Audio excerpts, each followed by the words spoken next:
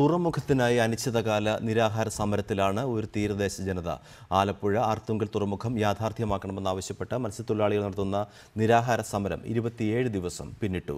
രണ്ടായിരത്തി ഒന്നിൽ A K Antony സർക്കാർ പ്രഖ്യാപിച്ച ആർത്തുങ്കൽ തുറമുഖം പതിനേഴ് വർഷങ്ങൾക്കപ്പുറവും യാഥാർത്ഥ്യമായിട്ടില്ല. രണ്ടായിരത്തിയൊന്നിൽ എ കെ ആന്റണി മുഖ്യമന്ത്രിയായിരുന്നപ്പോൾ പ്രഖ്യാപിച്ച ആർത്തുങ്കൽ ഹാർബർ പതിനേഴ് വർഷം കഴിഞ്ഞിട്ടും പൂർത്തിയാകാത്ത സാഹചര്യത്തിലാണ് മത്സ്യത്തൊഴിലാളികൾ സമരത്തിലേക്ക് ഇറങ്ങുന്നത്. ഹാർബറിനായി കേന്ദ്ര സർക്കാർ അനുവദിച്ച നാൽപ്പത്തൊമ്പത് ദശാംശം മൂന്ന് ഒൻപത് കോടി രൂപയിൽ ഒരു കോടി രൂപ ചെലവഴിച്ച് പഠനങ്ങൾ പൂർത്തിയാക്കി രണ്ട് പുലിമുട്ടുകൾ നിർമ്മിച്ചതൊഴിച്ചാൽ മറ്റ് നിർമ്മാണ പ്രവർത്തനങ്ങളൊന്നും തന്നെ ഇവിടെ നടത്തിയിട്ടില്ല. പുലിമുട്ടുകളുടെ നിർമ്മാണവും പാതി വഴിയിൽ നിലച്ചു. രണ്ടര വർഷമായി ഇവിടെ നിർമ്മാണ പ്രവർത്തനങ്ങൾ നിർത്തിവെച്ചിരിക്കുകയാണ്. മത്സ്യബന്ധനത്തിനായി കൊച്ചി തുറമുഖത്തെ ആശ്രയിക്കേണ്ട ഗതികേടിലാണ് ഇവിടുത്തെ മത്സ്യത്തൊഴിലാളികൾ. അർത്തുങ്കലിൽ നിന്ന് കൊച്ചിയിലേക്ക് പോകുമ്പോൾ ഒരു വള്ളത്തിന് മൂവായിരം രൂപയുടെ നഷ്ടമുണ്ടാകുന്നതായും മത്സ്യത്തൊഴിലാളികൾ പറയുന്നു. ഞങ്ങൾ ഇവിടുന്ന് ഒരു വള്ളം കൊച്ചിയിൽ കൊണ്ടുപോകണമെന്നുണ്ടെങ്കിൽ ഞങ്ങൾക്ക് ഒരു എണ്ണായിരം രൂപ ഏഴായിരം രൂപ ചിലവാകുകയാണ്.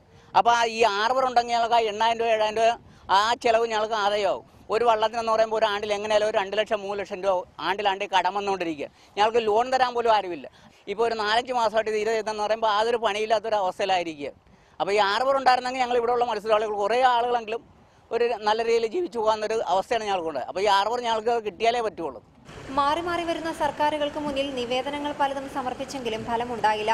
ഹാർബറിനായി അനുവദിച്ച തുകയിൽ ഇരുപത്തിയാറ് കോടി മുപ്പത്തിനാല് ലക്ഷം രൂപ ഇപ്പോഴും മിച്ചം കിടന്നിട്ടും നിർമ്മാണം പുനരാരംഭിക്കാത്തതിൽ ദുരൂഹതയുണ്ടെന്നും മത്സ്യത്തൊഴിലാളികൾ പറയുന്നു. ആയിരത്തിലധികം വള്ളങ്ങളാണ് അർത്തുങ്കലിൽ നിന്ന് കടലിൽ പോകുന്നത്. ഇവയിൽ ഭൂരിഭാഗം വള്ളങ്ങളും കൊച്ചിയിലും വല്ലാർപാടത്തും അടുപ്പിച്ചിരിക്കുന്നു. ചെറുവള്ളങ്ങൾ മാത്രമാണ് അർത്തുങ്കൽ തീരത്തുള്ളത്. തൊഴിലുപകരണങ്ങൾ സുരക്ഷിതമായി സൂക്ഷിക്കാൻ കഴിയാത്തതിനാൽ ഓഖി ദുരന്തത്തിൽ ഇവിടെ രണ്ട് കോടിയിലേറെ രൂപയുടെ നഷ്ടമുണ്ടായി.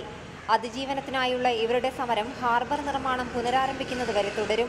ഇരുപത്തിയേഴാം ദിവസം പിന്നിടുന്ന സമരം ശക്തമാക്കാനുള്ള തയ്യാറെടുപ്പിലാണ് മത്സ്യത്തൊഴിലാളികൾ. പ്രഖ്യാപനങ്ങൾ വെറും പാഴ്വാക്കുകളാകുമ്പോൾ സ്വയം സമരത്തിനിറങ്ങാൻ നിർബന്ധിതരാകുകയാണ് ഇവിടുത്തെ മത്സ്യത്തൊഴിലാളികൾ.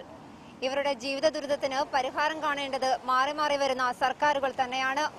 ആലപ്പുഴ അർത്തുങ്കലിൽ നിന്നും ക്യാമറമാൻ ബിനു അലോഷ്യസിനൊപ്പം നിഷ റിപ്പോർട്ടർ